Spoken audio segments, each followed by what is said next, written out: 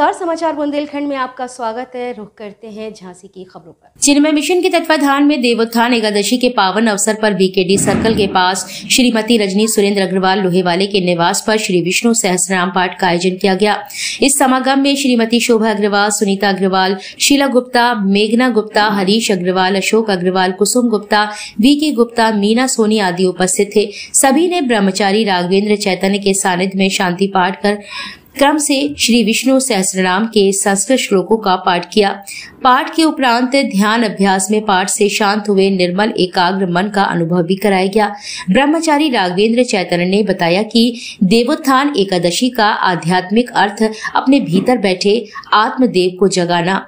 उनकी बात सुनना है। हमारी आत्मा हमेशा श्रेष्ठ, उत्तम को ही चाहती है। वो हमारा हर विचार या कर्म उत्तम स्तर का चाहती है। हम ये पर्व तो मनाते हैं, किंतु अपने भीतर बैठे देव को जगाना नहीं चाहते हैं या उसकी बात को अनसुना कर देते हैं। वो देव हमें कभी गलत कर्म, निंदा, द्वेष, अभिमान आदि नहीं करने देगा।